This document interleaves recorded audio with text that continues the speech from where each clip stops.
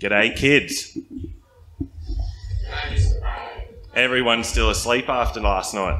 G'day, kids. Oh, thank you. It's good to be with you today. Hey, Christmas is in eight sleeps. It's the countdown is getting smaller.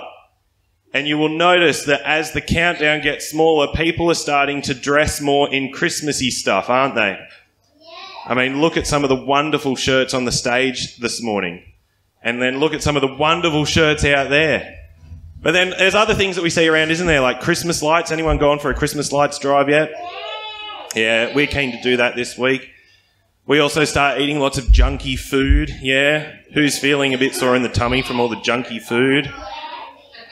We also listen to uh, lots of Christmas carols and sometimes some really tacky Christmas songs. But there's lots of different things that happen around Christmas, isn't there? And you know what? I think sometimes all that stuff can get a bit distracting. And sometimes we think that Christmas is about all that stuff the shirts and the presents and the lights and the food and the tacky Christmas songs. But what's Christmas all about? Jesus. At Christmas, Jesus should be number one. And all year, Jesus should be number one, yeah? So we're going to sing a song together that is called Jesus Number One.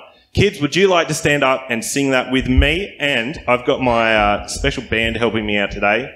So uh, this is going to be fun. Here we go.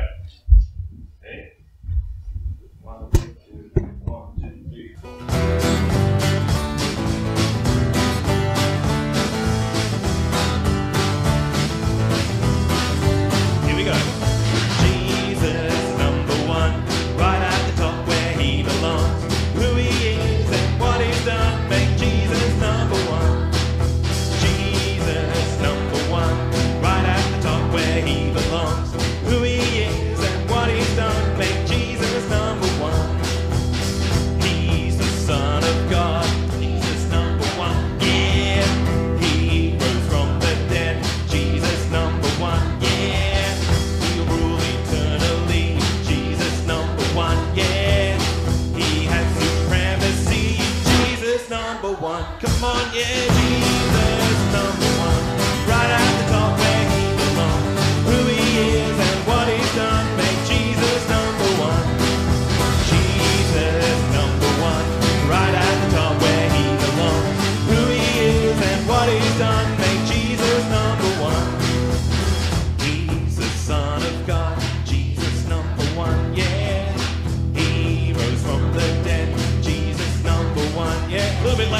He'll rule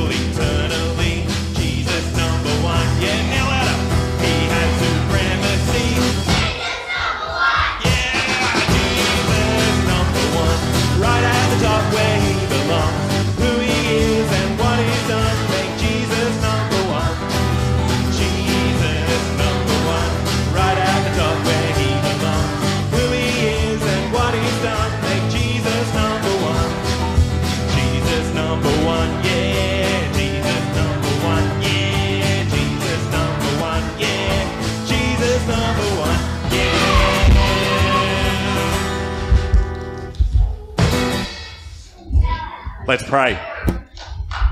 Lord God, we thank you so much for Christmas time. We thank you for all the fun things that happen around this time of year.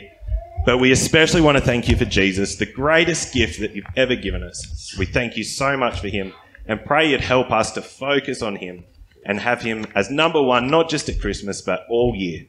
In his name we pray. Amen. Amen.